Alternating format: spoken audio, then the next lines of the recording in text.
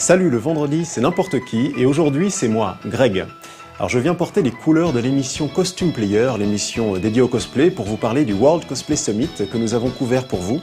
C'est le plus grand événement mondial dédié au cosplay et qui aura rassemblé dans sa dernière édition 24 pays. 24 duos de cosplayers, chacun qualifié dans leur contrée respective, est venu euh, se rassembler, participer à la grande finale euh, sur la scène de l'Oasis 21 à Nagoya. J'aimerais aussi vous présenter une ville japonaise dans laquelle j'ai travaillé et étudié une année. Elle est plutôt méconnue et assez unique, vous verrez, elle s'appelle Tenri. Et par la même occasion, si vous rêvez de vous rendre au Japon cette année, on ne sait jamais, mais que vous craignez un peu de voir s'évaporer vos économies, eh bien je partagerai avec vous quelques astuces toutes simples pour vous rendre la vie sur place encore plus abordable dès le premier jour. Mais avant tout le sommaire, nous aurons tout d'abord les sorties animé manga avec The Garden of Words et Le Chien Gardien des Étoiles volume 2, puis la seconde partie de Tokyo Café consacrée à la visite de Good Smile Company, et enfin les oubliés de la Play Histoire. Et tout de suite les news.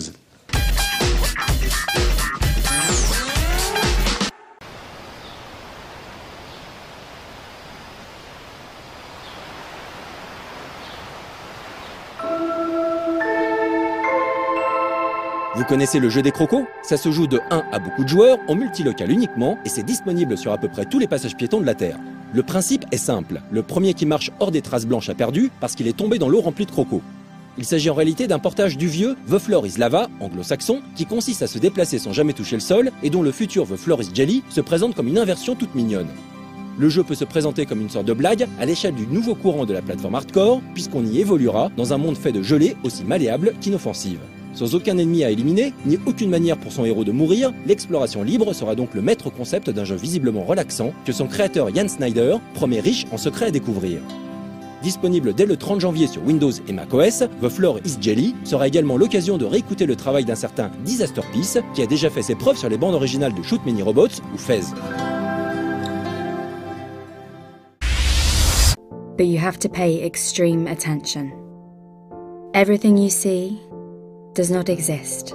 Loading Human est un jeu développé par le studio Untold Games pour Windows et Mac, conçu spécifiquement pour avoir une expérience immersive via l'Oculus Rift.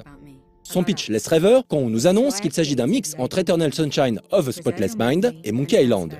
Pour sauver son mari d'une maladie dégénérative, Michel a transféré ses souvenirs dans une machine avant d'y importer l'âme de son mari.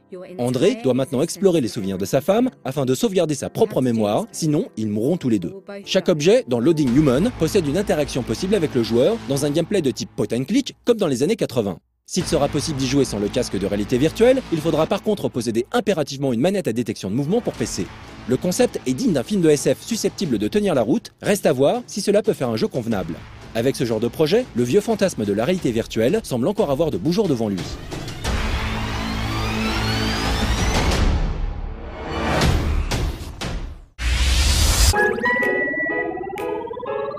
Le petit dinosaure de Nintendo revient transporter bébé Mario sur son dos le 14 mars prochain pour de nouvelles aventures sur 3DS.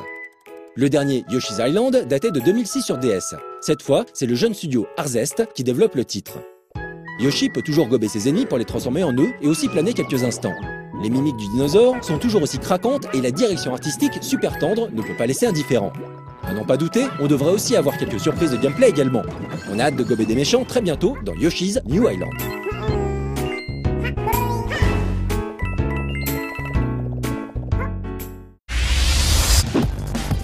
Le sympathique runner Run Sanity, sorti en 2012 sur iOS, auquel nous avions consacré un extra life en compagnie de ses développeurs français, est désormais disponible sur Android. Téléchargeable gratuitement, ce jeu de course propose plusieurs modes, 5 personnages jouables à faire évoluer, un système de combo et une petite dimension sociale permettant de challenger ses amis. Run Sanity est un très bon runner, au gameplay plus profond que la plupart des titres du genre, que l'on vous conseille d'essayer.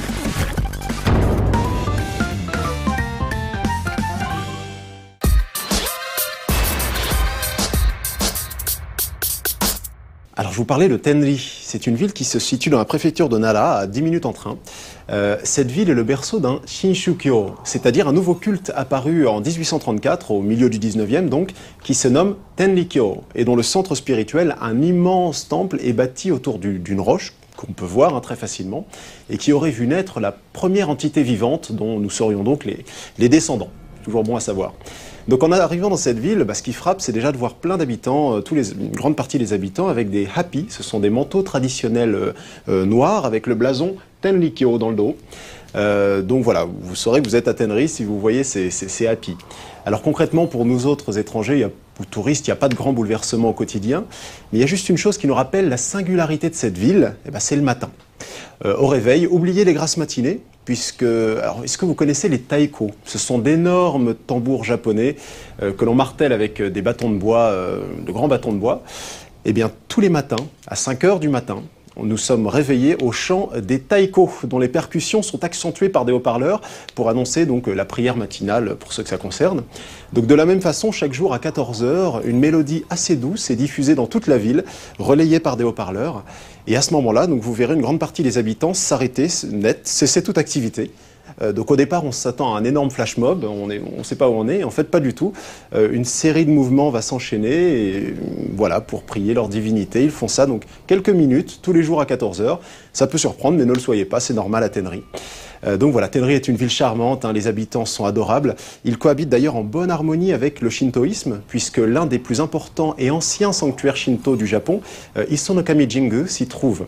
Euh, donc voilà, si jamais vous passez à Nara, n'hésitez pas quelques heures, faites un petit crochet à Tenri, vous découvrirez une, ville nouvelle.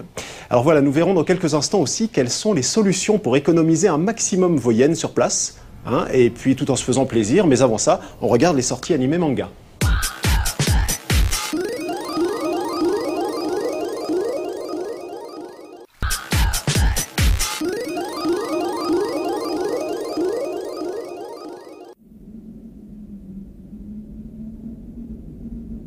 Ibex avait sorti Akira en Blu-ray pour la première fois en juillet 2011. Pour fêter les 25 ans du long métrage d'Otomo Katsuhiro, l'éditeur ressort ce qui pourrait être bien l'édition ultime du film. Et puis, il ne faut jamais manquer l'occasion de se faire plaisir en parlant de ce chef-d'œuvre. C'est donc depuis le 23 janvier que ce coffret 25e anniversaire est disponible. On y retrouve tout d'abord le même contenu que les éditions précédentes, le film en DVD et Blu-ray, présentant chacun une piste VOSTF et deux VF, une d'époque et une retouchée récemment. Pour plus d'infos, la chronique de la première édition Blu-ray avait été diffusée en septembre 2011 dans 101%, toujours disponible sur nos Life Online.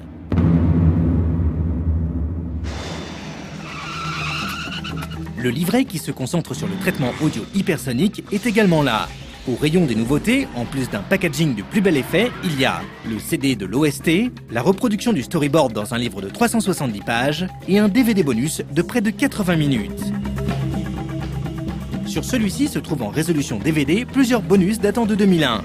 Une série d'interviews entrecoupées de quelques scènes making-of, regroupées sous le titre Production Report et qui dure 45 minutes, une séquence Animation Library de 25 minutes qui propose des extraits d'animatique commentés. Il s'agit en fait de line test fait au Quick Action Recorder qui permet une première prise de vue pour vérification de l'animation brute. Ce sont des images précieuses pour les fans. Et enfin, on trouve un petit montage d'une dizaine de minutes présentant une galerie somptueuse de décors et autres artworks. Ceux qui ne se sont pas encore procuré le film en HD se jetteront sans hésiter sur cette édition. Elle pourrait être la plus complète proposée en français avant un bon moment. Et les puristes qui ont déjà l'édition simple pourraient eux aussi craquer, car quand on aime, on ne compte pas.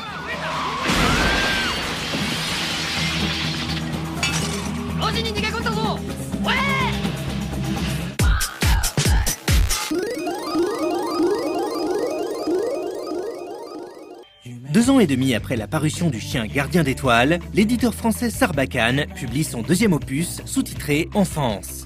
En fait, il ne s'agit pas vraiment d'une suite, mais l'ensemble se passe dans le même univers.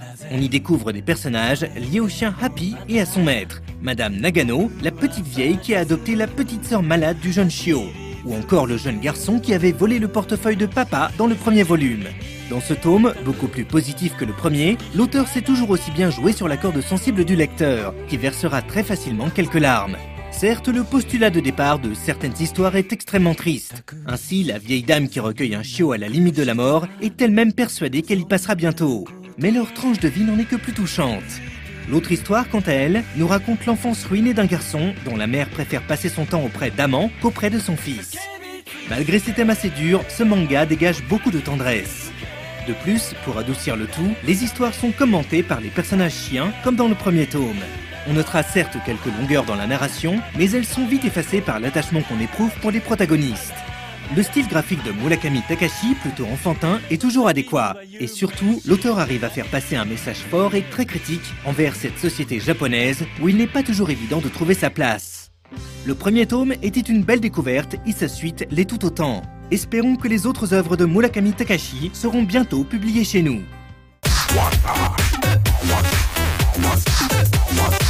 Alors lorsque l'on séjourne au Japon sur une longue durée, on apprend à optimiser nos dépenses grâce aux conseils, bah, si possible, d'amis japonais qui sont sur place. Alors déjà, est-ce que vous connaissez le terme bimbo? Alors en japonais, euh, ça pourra peut-être concerner certains d'entre nous, il signifie euh, poche vide, va-nu-pied, voilà, quelqu'un qui n'a pas, qui n'a, pas un rond. Alors nous avons à cette occasion créé entre étudiants sur place une philosophie de vie, la philosophie des bimbo, le bimbo style. Alors on a échangé quelques astuces pour faciliter la vie des nouveaux arrivants et nous faciliter la vie par la même occasion. Alors je vais vous partager trois avec vous, euh, trois exemples concrets que vous pourrez utiliser, euh, mettre en application dès votre arrivée sur le territoire. Alors déjà la nourriture. Parce qu'en tant que touriste, on se laisse vite tenter par les restaurants, euh, une à deux fois par jour, déjeuner, dîner, et la note peut être assez salée en fin de séjour. Alors la solution pour bien manger à moindre frais, on la connaît peut-être, c'est les supermarchés. Mais les supermarchés après 20 heures. C'est important puisque au Japon, les produits frais sont bradés avant la fermeture. Donc les bento box qu'on adore, les paniers repas bien garnis, très variés, eh bien, sont divisés par deux et du coup, on peut s'en sortir pour 200, 250 yens, moins de 2 euros. Vous avez un panier repas garni, les onigiri quelques centimes. Donc si vous désirez, euh, voilà, si vous désirez vous acheter même deux bento box pour le déjeuner le lendemain, vous pouvez, vous ferez des économies. Et en plus, vous ferez une bonne action puisqu'un bento box acheté n'est pas jeté. Euh, donc avec un peu de skill, on peut aussi s'arranger pour faire les courses le mardi, puisque c'est le jour de rabais pour les légumes et les fruits. Mais bon, ça, ça concerne peut-être les gens qui ont une cuisine chez eux. Alors si vous désirez maintenant vous faire un resto, on est en vacances, euh, on a envie de se faire plaisir aussi, on peut le comprendre, eh bien vous commandez votre ramen, vous allez au restaurant, alors c'est 800, 900, 1000 yens en fonction de la garniture, euh, eh bien autant le rentabiliser. Parce qu'en effet, pour certains d'entre vous, un bol de ramen, ça suffit pas à rassasier les ventres affamés hein, par un pèlerinage à Akihabara, après avoir sautillé toute la journée sur des bornes d'arcade ou effectué un trekking euh, dans les montagnes de Kyoto. Vous avez faim. Alors, pour, euh, euh, après avoir fini vos pâtes, surtout ne buvez pas votre bouillon, conservez-le et prononcez ces mots kaedama. on vous remplira alors votre bol d'une nouvelle ration de pâtes fraîches. Kaedama. Pour 100 yens, quelques centimes, pareil, c'est deux ramen pour le prix d'un. Donc Kaedama, c'est une formule magique, hein, une sorte de multiplicateur de nouilles. Donc pensez-y, Kaedama. Et puis dernier exemple, parce que se nourrir c'est bien, mais il commence à faire soif. Il fait très chaud au Japon, vous le savez certainement, il y a beaucoup d'humidité. Et euh, il y a des distributeurs de boissons partout. Donc on est vite tenté, euh, c'est 150 yens la boisson, euh, on a de la monnaie dans la poche, des distributeurs, on a soif, on y va. C'est le prix de la bento box. Donc il est temps de casser cette mécanique infernale et ruineuse. Voilà la solution, elle est simple, elle nous vient d'amis japonais. Alors comme vous le savez sûrement, à l'entrée des temples et des sanctuaires, on trouve des fontaines à eau pour se purifier. En général, on en boit une gorgée, on s'arrête là. Ben voilà, une bouteille vide, un, entonnoir, mais ça c'est en option, et euh, vous adoptez donc une hydratation bimbo style. Voilà, de plus, ça confère à ces eaux un caractère sacré pas désagréable, donc euh, n'hésitez pas. Et toutes ces économies sont autant de yens économisés pour apporter encore plus de souvenirs à vos proches ou à dépenser dans vos loisirs. Alors par exemple, moi, ça m'aura permis de, me procurer un billet Tenri Nagoya pour rejoindre Anthony euh, de Costume Player et l'aider à couvrir à ses côtés le World Cosplay Championship. On en parle juste après.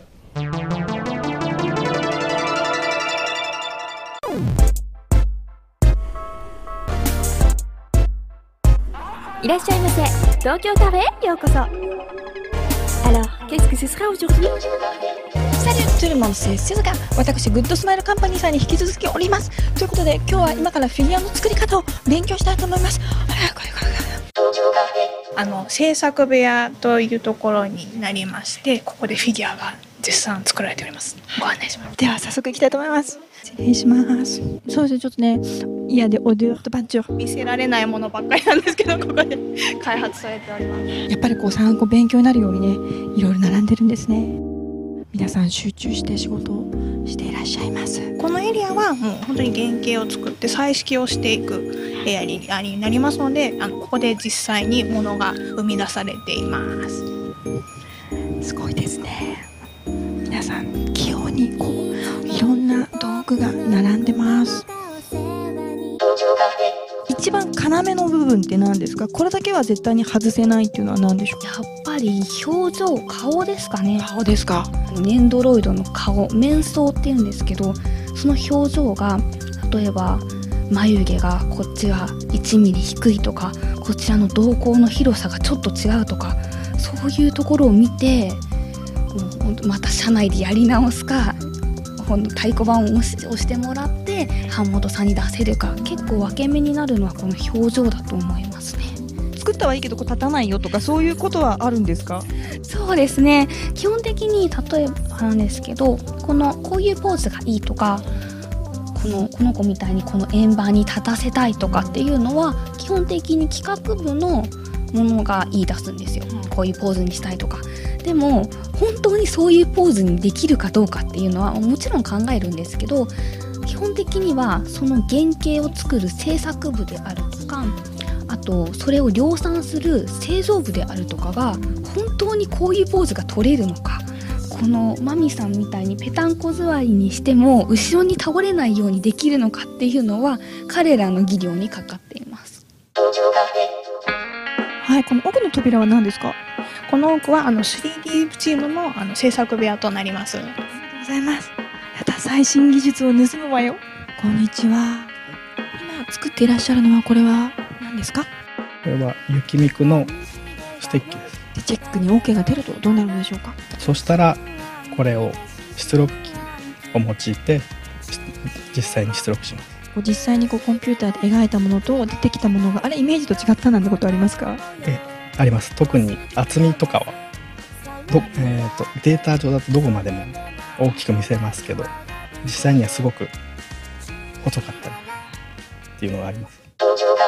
ものによって違うと思うんですけれどもどのくらい時間かかるんですか？各の段階からあのお客様のお手元に届くまでっていうのがだいたい1年弱かかりますね大量に生産をあ生産をして売るという形ではなくお客様から予約をいただいてその分を確実に作るみたいというあの欲しい人に必ず届けられるようなシステムを使っているのでお客案内が開始リリースされてからお客様の予約を取ってそれから量産するのでやっぱりちょっとどうしても半年ぐらい量産期間が取られてしまうんですね。なので量産期間が半年だとすると企画からこちらのデコマスになるまではだいたい半年ぐらいですかね。この機械私知ってます。これ 3D プリンターですよ。もちろん 3D プリンターも使って作られてるんですよ。なんかなんかすごいすごいすごい秘密の部屋に入ってまいりました。すごいですね。こちらの機械と今こちらの機械両方こっちは今動いてます表面が本当にツルツルなので。ツルツルです。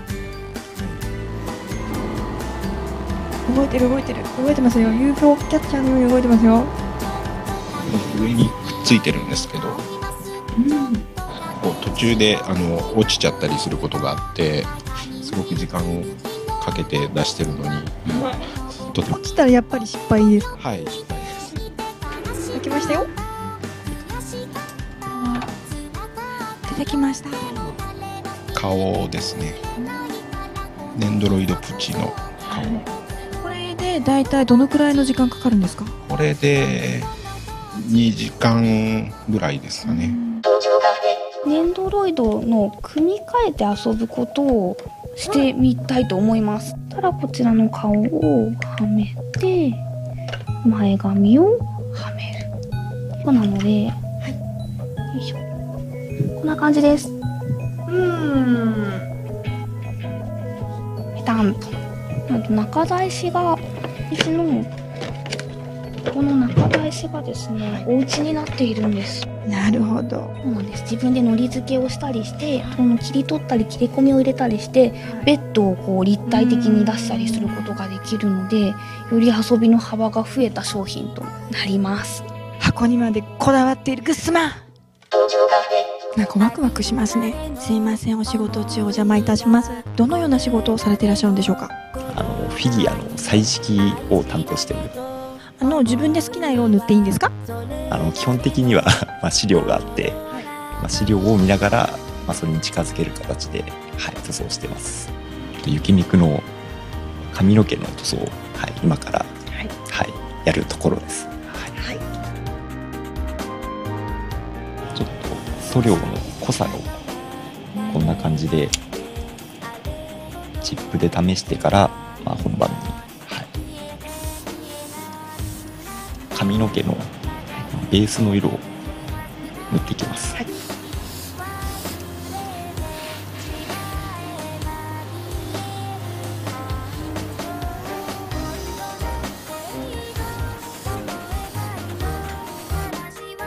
実はものすご作業なんですね。私こういきなりガーって色塗っちゃうと思ったら違いましたよ。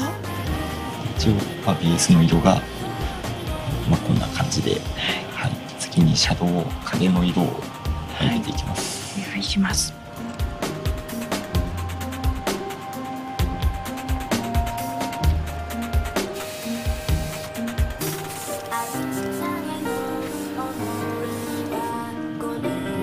入れていきます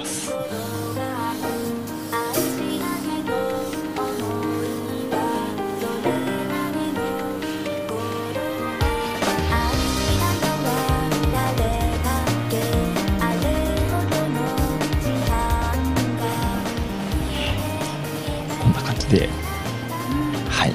大体これ一つ塗るのにどのくらいの時間かかるんですか？大体まあこれぐらいのボリュームだと、まあ、1週間ぐらいですかね。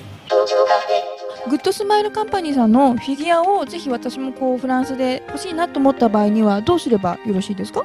えっとですね、弊社はグッドスマイルオンラインショップというウェブのオンラインショップを持っているので、そちらで予約していただければ購入ができます。フランスでも大人気のグッドスマイルカンパニーの商品いかがだったでしょうか？私もねとてもねあのあんなねやって作ると知らなかったのでとても勉強になりました。カブブネコンブブレ。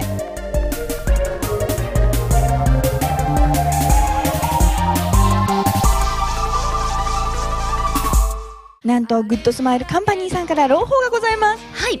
そうですね、こちらのネンドロイド雪ミクマジカルスノーバージョンを3名の方にプレゼントさせていただきます。素晴らしいですね。でその3名なんですけれども先着で決めたいと思います、えー私が言うアドレスにぜひ皆さんあの熱いメッセージをください、えー、グッドスマイルアットノーライフティレテベポアンコム。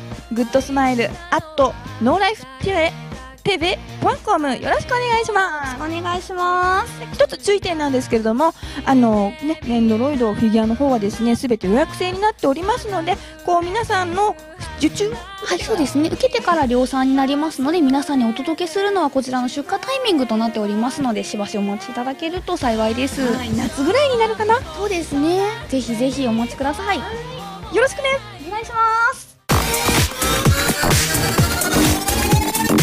Nous y voilà, la scène de l'Oasis 21 à Nagoya qui accueille maintenant chaque année le plus grand événement mondial dédié au cosplay. Alors notre objectif sur place était de suivre les étapes du World Cosplay Summit comme le défilé du red carpet, euh, la parade dans la ville dessous avec tous les cosplayers, un monde fou et bien sûr de recueillir les témoignages, les anecdotes, les impressions à chaud des 24 équipes euh, juste après la fin du championnat. Alors on y a vu des prestations de haute volée mais vous verrez ça dimanche. Euh, le championnat se termine. Alors nous, on n'est pas plus bêtes que les autres. On anticipe, on sait où, où logent les, les cosplayers. Donc on file à l'hôtel euh, pour attendre l'arrivée du bus les transportant. Bah, le seul problème, par contre, c'est qu'entre-temps, plusieurs s'étaient euh, changés, euh, démaquillés, et euh, du coup, on connaissait pas leur visage. Alors, on les avait vus que sur scène. Nous, imaginez Kefka de FF6 sans maquillage, on reconnaît plus. Donc, on était un petit peu perdus, et pourtant, il, bah, il fallait manquer aucune équipe. On n'avait que ce soir-là. Le lendemain, ils repartaient vers d'autres horizons, donc c'était ce soir-là. Il nous fallait 24 interviews. Euh, donc, on- une véritable chasse à l'homme s'est engagée. hein, Il n'y a pas d'autre mot. On a tout donné. On a tendu le micro à n'importe qui. Euh, Est-ce que vous faites partie de l'équipe Australie? Oui, mais mon binôme est parti prendre sa douche. Ah, on attendra. du. On n'a pas arrêté. À minuit, euh, eh bien, le hall s'est vidé. Normal. Chacun est rentré chez soi, dans sa chambre. Et donc, on a réussi à récolter quand même une dizaine d'interviews sur 24. C'est pas suffisant. Donc on n'allait pas en rester là, on avait un petit peu de la réserve, euh, on a dû improviser. Mais je vous raconte euh, ça juste après les oubliés de la Playhistoire.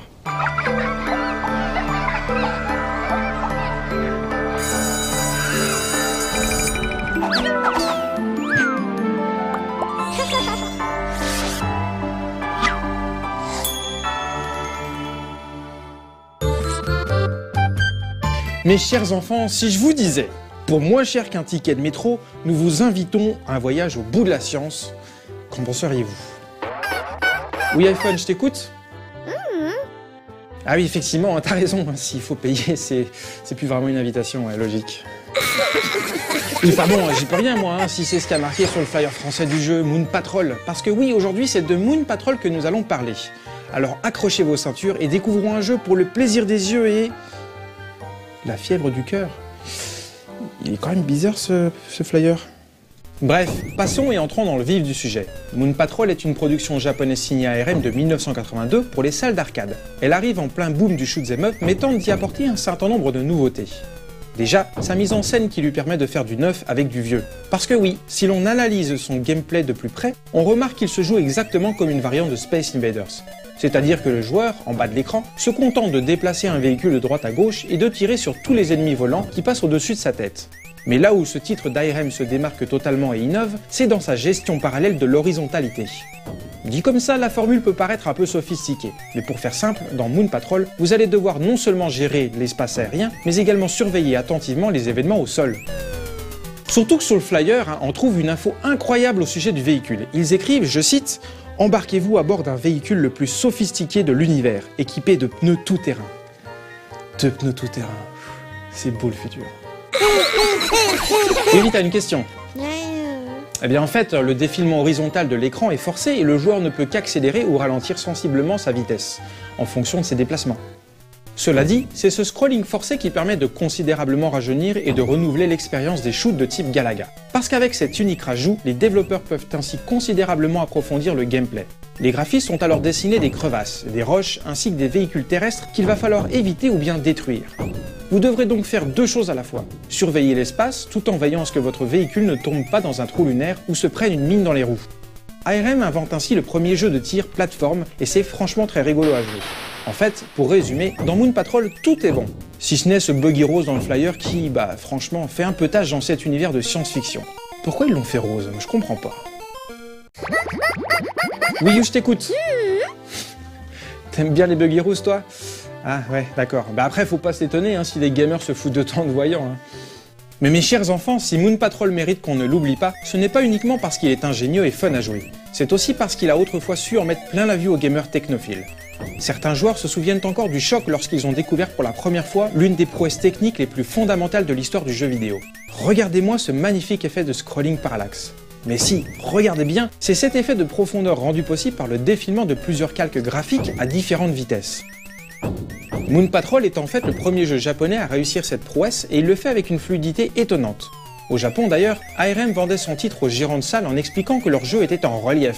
Bon, ça reste du discours marketing hein, évidemment, mais il n'empêche que c'est à partir de Moon Patrol que la pratique du scrolling parallaxe va se démocratiser. Parce que les joueurs et les développeurs trouvaient que visuellement, ben, ça déchirait. Oui, c'est ça, moquez-vous, hein, c'est facile. hein. Vous rigolerez moins dans 30 ans quand je parlerai de vous à toutes vos descendantes, enfin, si vous en avez un jour. Enfin bref, c'est donc aussi pour ce genre de prouesse technique que Moon Patrol mérite d'entrer dans la préhistoire. Et puis notez bien que ce titre est l'un des tout premiers jeux à utiliser le système des continues. C'est même dans Moon Patrol qu'on voit pour la première fois un décompte de 10 secondes avant le vrai game over. Et oui, ça n'existait pas avant. D'ailleurs, vous remarquerez que c'était tellement nouveau qu'ARM ne savait même pas écrire correctement le mot continue. Bouh la vilaine faute. Voilà, j'espère que vous retiendrez le nom de Moon Patrol, surtout que si l'on en croit ce truc, qui ne connaît encore le Moon Patrol ne connaît encore rien à l'extase vidéo. Bon bah voilà mes chers enfants, ce sera tout pour aujourd'hui. Notez dans vos cahiers de texte que pour la semaine prochaine, vous allez me corriger toutes les idioties linguistiques de ce flyer et du jeu. Et bon courage.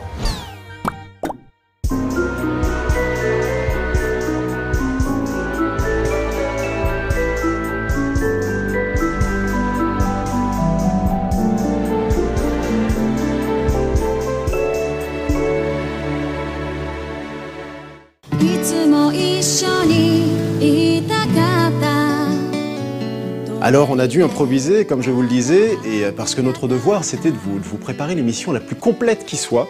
Euh, on voulait récupérer ces 24 interviews et nous avons donc cédé bah, à tous les sacrifices. On s'est renseigné sur la destination, la prochaine étape où allaient se rendre les cosplayers, et on s'est rendu compte que c'était dans une auberge, un ryokan, donc une auberge traditionnelle japonaise. On a tout simplement réservé une chambre à côté d'eux. Voilà, pour les suivre jusqu'au bout. Euh, il, y avait un onsen, un bain public au dernier étage, bah, jusqu'en dos crawlé. Avec le micro, on a été les chercher, ces interviews, et on les a toutes récupérées. Euh, donc voilà, dans de très bonnes conditions. Donc ne vous inquiétez pas si sur certaines interviews, certains sont en armure euh, dans un hall d'hôtel euh, et que d'autres sont en peignoir de bain ou en yukata. C'est que le lieu était un petit peu différent. Voilà, donc je vous balance un peu les coulisses. Donc l'occasion pour moi bien sûr de remercier chaleureusement chaque participant pour nous avoir généreusement accordé de leur temps et s'être livré à notre micro avec beaucoup d'enthousiasme parce qu'après tout ils ne connaissaient pas l'équipe Costume Player à cette époque. Donc merci à eux et vraiment définitivement les cosplayers forment une communauté en or. Euh, résultat, donc vous le verrez euh, bah, le dimanche 2 février, le soir de la Chandeleur, soirée crêpes et cosplay sur No Life. Ne manquez pas ça, c'est des tartines de kiff en prévision. Euh, donc merci d'avoir suivi ce 101% et pourquoi pas, n'hésitez pas à partager vos bons plans Bimbo Style sur le forum de No Life. voilà, ça pourrait intéresser des gens qui seraient prêts à partir pour le Japon. Alors avec Lilian, nous vous donnons rendez-vous dimanche prochain, le 2 février, sur No Life. Bye bye.